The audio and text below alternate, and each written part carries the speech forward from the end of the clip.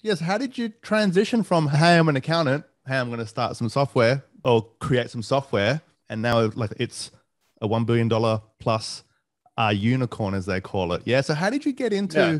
that transition? Well, I, I think I'm kind of a, a weird mix of like risk taking entrepreneur, but also an accountant at the same time. So I, I sort of got here. I would say I, I grew up this way. It's through my parents. So I'm a my my mom is an accountant and runs a bookkeeping firm and provides business consulting for small businesses and family offices in Los Angeles.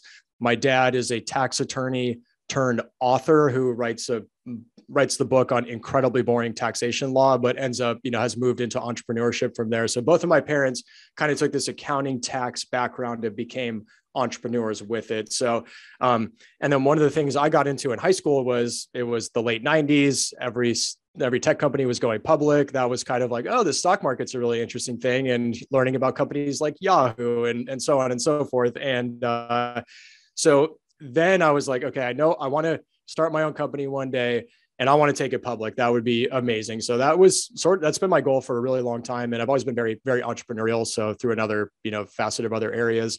Um, and then when I got to college, I actually went for film. So I wasn't, I went, I went to go to school for film, completely obviously unrelated, and ended up uh, finding the business program, taking accounting. I was like, ah, I'm pretty good at this. It's pretty interesting. And so I ended up majoring in accounting. And here we are today. Um, you know, I took the natural career path, which is you go to a big four audit firm. You work there for a few years, you get your CPA license. And then I moved out. And when I moved out of audit, I was like, all right, I really want to get to a pre IPO company to see what that looks like from behind the scenes. And so I, I was very focused on that. And in LA, at the time, not the easiest thing in the world, but I found a company called Cornerstone On Demand. This was in 2009. And they were about a, they had just taken on their first round of venture funding. We're about to go public. They said 12 to 18 months was the timeline they gave me. So I, I loved it. It was, I was the 95th employee at the company, the fifth person in accounting, helped scale that up. And I was there for three years and um, going public, growing the team to about 60, 60 people on the finance team. It was just like this great learning experience. But that was where I was like, wow, the month end close is a huge pain in the ass. And there's actually an opportunity here. Maybe I'll go and start a company to solve this problem. And so it, it was wonderful that my degree in accounting actually became useful in my entrepreneurial journey mm. as well. I, I, happened to find a pain point that was within the world I was operating in. That was great. Like 10 years ago, if you asked me, you're going to, you say, Hey, you're going to start an accounting company one day and you're going to love it. I'd be like, no, come, come on. That sounds ridiculous, but it, it is. And I love it. And it's, uh, it's great. It's been a lot of fun. You know, what's interesting about that is that like, it wasn't created on a whim you know? Like you've been planning this thinking about this like you took steps um, to work in a company that was going to list on the stock market. Um, you've had intention. What's what's kind of funny is that you know you kind of tried to buck the trend with your parents by saying well you're in accounting i'm going to go into art. And then somehow you got pulled back into art and now oh, sorry you got pulled back into accounting. And now you're in kind of the business side of things which is very creative right? And like there's a lot of creativity, which is really interesting because you think counting software in the B2B space for the month end close, but literally that's one part, but there's so much creative freedom um, yeah. in scaling a startup, right? well starting a business is like is close to a blank slate it's a it's a, a canvas and go figure out what you want to what you want to build from here and yeah it's it's to me incredibly creative and i did realize if i went into film i probably would have ended up as like a producer the person who was raising money getting the idea off the ground and then kind of hiring directors and whatnot from there so i, I did realize that business is probably the better uh, area for me not so much the uh, yeah the true creative details of it. So anyway.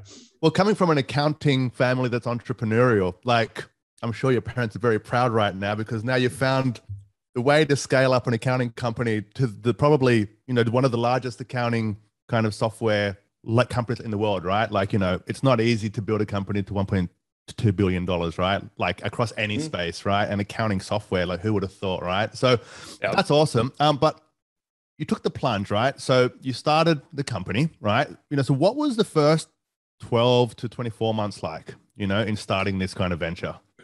So I um I had the idea and I was still working full time. I had gotten a small option grant when we went uh, when I joined Cornerstone. And so as part of that, and I, I'd say the numbers, no problem. I had $25,000 in the bank and I was like, okay, It's on Crunchbase, realized, by the way, as well. Yeah, my uh, my savings account listed out there. Here's what you got. Yeah. So, so I was like, okay, I have a little bit of money. I think this idea is really good. The problem is a huge pain for us, and I don't see anyone really solving the problem.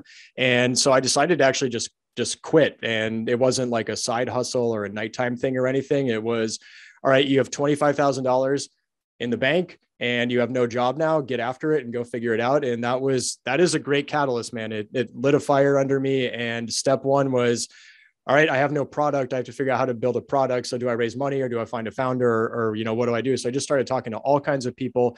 And the first uh, introduction I got was to a, a startup accelerator here in LA by the name of Amplify LA. And I, I, had a really good connection to one of them, kind of weaseled my way into an introduction and had lunch with them. And the guy was like, great idea. You know, we'd love to invest in some more SaaS companies in LA. We, your background's perfect for this, but like literally he goes, dude, you need a co-founder, a product and a customer before I can like even talk to you about this. So I was like, okay, how do you do that? He's like, well, go find a co-founder and get them to build it for free. I'm like, okay, I'll go do that. And so um, went on, and this might this is one of the more ridiculous stories of the the journey here. So the only engineers I knew in the Los Angeles area were out of Cornerstone, and I was not about to poach out of Cornerstone because I'm not looking to burn bridges in a pretty small tech scene like that early on in the journey of the company. So I'm like, all right, I'm not going to be recruiting from there. So how can I figure this out? And stumbled across this website called cofounderlab.com, which is literally like match.com. It's like a dating website for entrepreneurs. So I posted my profile as I'm this business development guy who's looking to start a company. And I start scouring the profiles of a bunch of tech people who like basically sit on a throne and are like, I build software. All of you people who want to start your own company, like come pitch your ideas to me and I will accept or reject them. So it's almost like the earliest stage venture pitch is really with CTO candidates. And so um, it's very much like raising money. You know, I went out, I was looking through profiles. I found like 40 people in LA who I thought would be a good fit, started whittling down the list, had lunches and met with them and all this kind of stuff. And at the, the bottom of my funnel popped out my co-founder, Cullen Zandstra, who's our CTO. Um, great background. I love working with him. It's been awesome working with him for the last eight years. You know, who knows coming off one of those websites, what kind of relationship you're, you're getting yourself into is such a, a big one, but it's been amazing working with him. It worked out really, really well. And it was tough in LA because we're we're in a cool market. There are a lot of cool opportunities out there, you know, and I'm out there pitching some boring accounting, you know, collaboration software. And but he came out of MySpace where he saw the demise of MySpace, as he puts it, when Facebook came on the scene. And he was just like, I want nothing to do with consumer. I want to do enterprise software. Like people pay us money for the software that we write. That sounds amazing. I'm like, yep, that's great. And so, um, so yeah, he hopped on board and it's been great uh, ever since then. And then once I got him to build the product, my mom bought the software. And then I went back to Amplify and I was like, hey, I got a co founder, a product, and a customer. You know, you said you'd let me in. And so all of that kind of played together. And then I went back, I put the suit on, I pitched them, and uh, we got into Amplify from there. And then our, uh, our third co founder, Chris Sluty, who I've actually known him since college he's also an accountant and like in college he was always like hey man when you start your first company like let me know i want to i want to be involved in it and then fortunately it was accounting based so his background is like perfect for what we're doing. So that's our those are the co-founders myself our cto cullen zandstra and then our chief product officer now uh, chris sluty and we we put that product out and i was trying to sell it. I was trying to raise more money. We were struggling from all kinds of different angles. And um, the big, big, big decision we made, and it was really tough, was we ultimately decided to scrap the entire first product that we had built.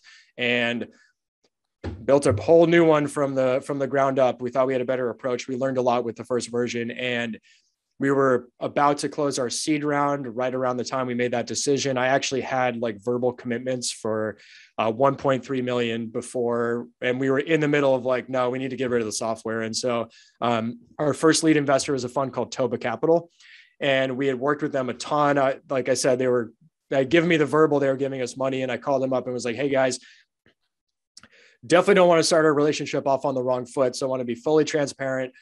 I've gotten enough no's on selling now where we're going to scrap the software and build a new version of it. And if you want to pull the term sheet, like I completely understand because that's not the bill of goods you've been sold here. So just want to be honest with you. And they were like, no, we really appreciate that, and we think it's the right decision. So we'd love to make the investment and let's go for it and let's build the new version. And it was it was great. So that that was like one of arguably the biggest moment in FloQast history was changing the actual software we built, rewriting all the code, building it up. And that was the product that we took to market in Q1 2015 and have been selling ever, ever since then. So yeah, that first 18 months or two years, a lot of figuring stuff out back and forth. Um, and it all worked out though.